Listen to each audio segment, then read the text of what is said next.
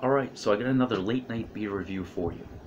Um, bit of a problem today. I found out that my production was far exceeding the number of bottles I had. So my neighbor and I, we sat down there on those on those balconies. We've balconies, nice balconies here, um, nice decks. Uh, it's a townhouse, and it's like two by two of the townhouses, and then they have a wall. So I could sit on one side of the wall safely. He could sit on the other. I passed some beer over to him we both drank it. He loved it. He had the Irish Stout, um, which wasn't my favorite. I liked it, but it wasn't my favorite. I finished off some of the Canadian Blonde. I still have a bottle. That's my favorite one so far. But here, I've got the Mexican Aztec Cerveza. And uh, I drink, I like a good um, Corona when it's not like skunky. You know, when it's nice and cold, real cold. Um, I like Dos Equis, uh, so I like Mexican beer. Um, I like Modelo, although that's, I think, a little bit of a different style. But anyways, Aztec um, Cerveza, very excited to try this. Um, I use the sugar, getting a little more carbonation with the sugar. I like a lot of carbonation, apparently. Um, I don't know, I'm going to keep trying it. I'm going to keep using carbonation dots, too, because if something comes with me, you know, that's free, I save on my sugar or I save on my carbonation dots, either way, I'm going to use it. Both taste great. Here we go. Oh, yeah. This every time with Mr. Beer carbonation's been perfect. It's just been you get that crisp sound right as soon as you open it. Let's let's uh, pour some in here. But careful with this pour because this thing has a head to it. That's one thing too with the sugar. I'm getting a better head to it. I think. I don't know. Oh, that's a ridiculous head. Could have poured that even a little slower maybe. I don't know if you guys can see this. Can you see that? And this beer looks looks absolutely beautiful. Um, absolutely clear and beautiful. You can see, um, can you see that? All the carbonation. This is fantastic. It looks great. As always, I think it smells like the lager. Every beer, I'm like, hey, it smells like the lager. Um, Canadian Blonde smells like the lager. Uh, let me just pour in a little bit here.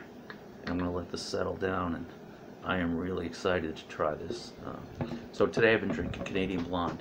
A couple of the um, Irish stouts, St. Patrick's Irish stouts, and I have to say, they're bitter, and it's not my cup of tea normally, or my, my mug of beer, but I, I do like them. Um, I've grown to like them. My buddy who was drinking them, my neighbor, he loved them. He drinks Guinness all the time. Absolutely loved them.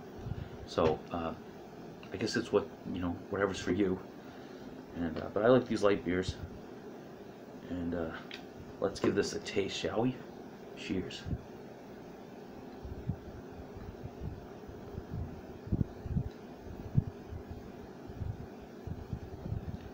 Oh, that's spot on. That is good. Um, yeah. Mm. This is what I think of when I think of a cerveza. You know, when I think of a Corona or something. Uh, a little different than the American, say, lager. You know, uh, it's not, you get a little bit taste up in the front more. Um, I don't know if that's hops or, I don't know what that is, but you get almost a little bit of bite right at the first. With a lager, you kind of drink the lager, it's soft, and get the bite right at the back. So it's just like, it's the same amount though. It's a nice, easy drink. It's just when you get the bite to it. And this, this, this is not bitter at all.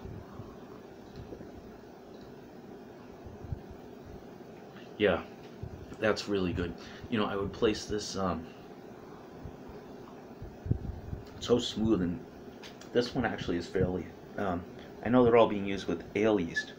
This one is fairly clear by my standards. I don't really worry about clarity that much. I don't cold crash. You can see the nice carbonation. Um, the head, I didn't watch the head, but it kind of, there was a head there that was a good size, too good, and then it quickly went away. Not a lot of light lacing, but the flavor is really good.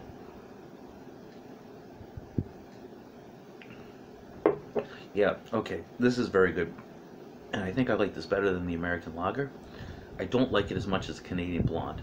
I like it more than the Irish Stout that I had, and I like it more than the Bewitched Amber Ale. So if I had to put them in order so far, what I've made, I would have Irish Stout on the bottom, but that's not to say it's a bottom beer. It was very good, um, as my neighbor found out. It's a very good replication of a stout or like a Guinness, um, but that's not my typical thing. So I would have that. I'd have Bewitched Amber Ale. Then I would have American Lager, which I really liked. I mean, I really liked that one Then I'd have this, which I really like this one. Oh yeah, that's good. I'll be brewing this all the time. And then I have Canadian Blonde, and that just blew my mind. That is my beer right now. Well, to see if anyone can knock it off. But this Aztec Cerveza, uh, and this is just a standard kit. It's not the um, it's not the deluxe, but it is delicious. Cheers.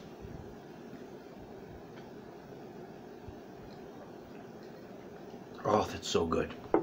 Get some